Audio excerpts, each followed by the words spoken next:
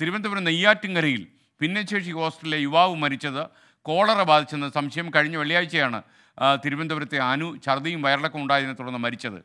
ഹോസ്റ്റലിലെ എട്ട് പേർ തിരുവനന്തപുരത്തെ മെഡിക്കൽ കോളേജ് ആശുപത്രിയിൽ ഇപ്പോഴും ചികിത്സയിലുണ്ട്. അഖിൽ ഷാൻ സാർ ടെലഫോണിൽ. പറയാ അഖിൽ അഖിൽ ഷാ എസ് കെ ഇക്കഴിഞ്ഞ വെള്ളിയാഴ്ചയാണ് തിരുവനന്തപുരം നെയ്യാറ്റിങ്കരയിലെ ഒരു ഭിന്നശേഷി ഹോസ്റ്റലിലെ അന്തേവാസിയായ അനു ഇരുപത്തിയാറ് വയസ്സായിരുന്നു. ഈ ഛർദിയും വയർക്കത്തെ തുടർന്ന് തിരുവനന്തപുരം മെഡിക്കൽ കോളേജിൽ പ്രവേശിപ്പിച്ചിരുന്നു. അത് വലിയ വർദ്ധിച്ചതിനെ തുടർന്നാണ് വെള്ളിയാഴ്ച മരണം സംഭവിച്ചത്. അതിന് പിന്നാലെ ഈ ഇതേ ഹോസ്റ്റലിലുള്ള തന്നെ എട്ട് പേരെ തിരുവനന്തപുരം മെഡിക്കൽ കോളേജിൽ പ്രവേശിപ്പിച്ചിരുന്നു.